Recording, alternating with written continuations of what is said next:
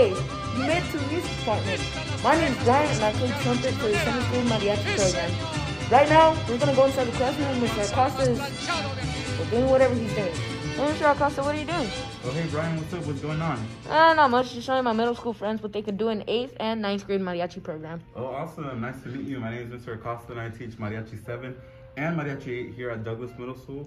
And I teach combined 7th and 8th grade Mariachi at Lee. For the current 8th graders, there is an opportunity to join the high school mariachi. Um, there's It's going to be a 9 through 12 ensemble. So if you're interested in joining, come along for the ride. No experience required.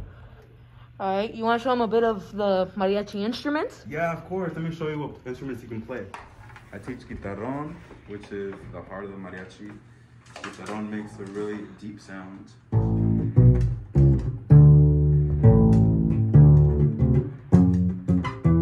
Also teach vihuela, which is a smaller version of the guitar. It has five strings and it sounds like this.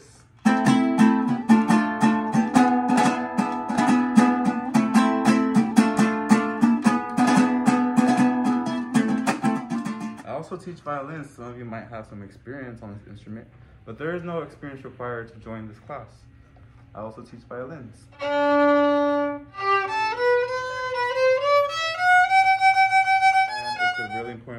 Ensemble.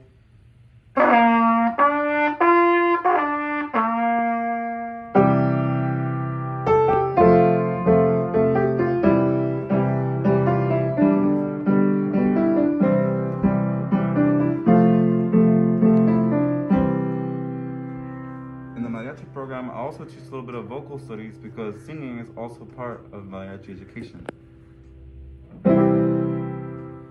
Last but not least, I teach guitar, and my mariachi guitar sounds a little bit like this. All